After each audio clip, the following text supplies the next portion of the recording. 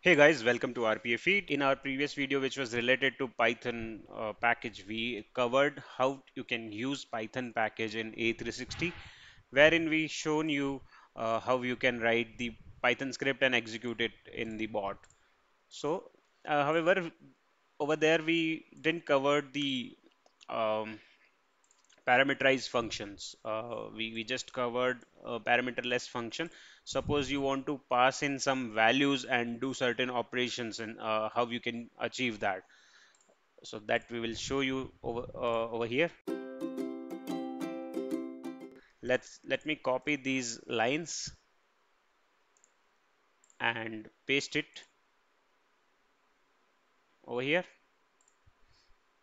So we have Python script open action. Here we will rename the session to default one everywhere. Let's rename it to default one. And over here, let's rename the function to subscribe.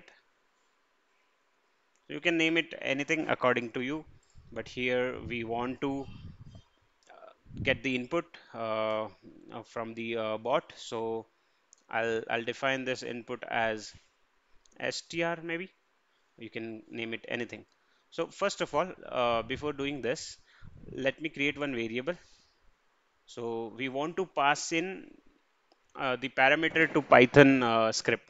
So if you want to pass one two three four n number of parameters you can do that uh, by passing the variable of type list. So you, we can create a list variable from here and let's name it as lst data. Okay and it's of type string.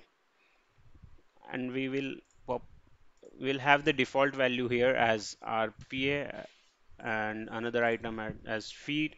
So similarly you can have an uh, many many such values in the list and you can pass it accordingly. So here in this example we are showing with two passing two values.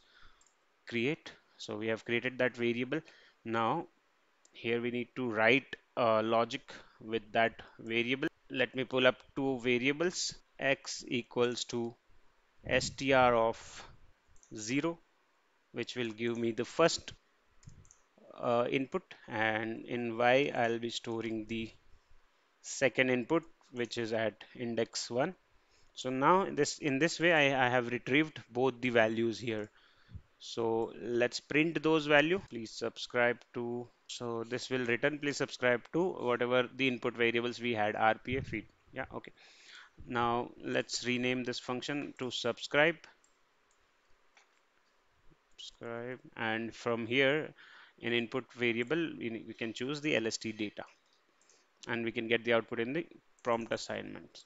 So let's run this bot now. Starting four lines four lines of code will execute the parameterless greet function which was there in earlier python script video. But at the line number eight we will get the output which is from the new code. So please subscribe to rpa feed. Yeah. So this is how you can use you can pass parameters multiple parameters or multiple arguments to your python script in a form of list and here in the form of array uh, the python accepts the values and you can further segregate those using this array notation. Hope this is clear. In case you have any doubts please comment down below. And if you feel uh, if you like this video please share with your friends and please subscribe to our channel. Thanks for watching